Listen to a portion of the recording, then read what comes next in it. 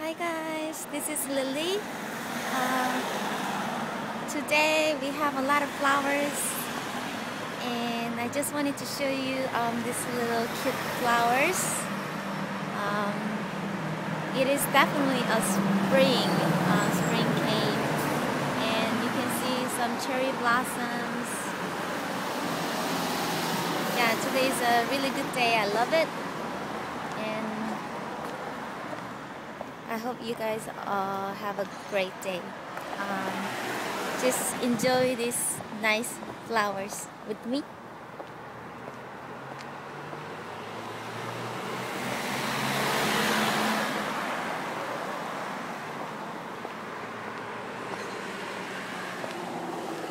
Alright, see you later. Bye bye.